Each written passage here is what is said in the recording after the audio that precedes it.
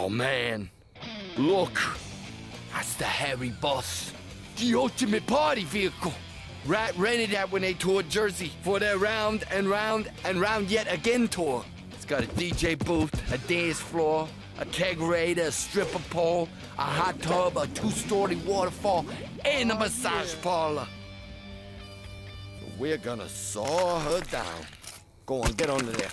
These popcorn makers are bad for cars, so, you know, we're doing a good deed here. Ah! Then how come it be screaming at me? Because it hurts! Shut up, shut up, shut up. Hurry, hurry, come on, come on. Ah! Ow! What the? This is warm and gooey. Get melt this down. Friggin' Lenny is not gonna take this one. Put it back! Lick my meat. Oh, goodness. He's hurting something fierce. Carl, we can't just leave him like that, can we? Yeah, actually, I think we can. Okay, see you later. Hey, Carl, when we going to the movie? We went. I don't know what we saw. Something. You liked it, trust me. Did it have someone named Shrek? The guys in the movies? You see him on them cups, the soda cups? Yeah, sure. So, you guys uh, trying to murder me? Ah, you ain't alive. You're a boss. I live just as you, sir. I am the offspring of the unholy union of man and bus. In Uruguay, many years ago, a drunken bachelor made love to a bus. Nine months later, that bus, my mother, conceived a hideous spawn of Satan.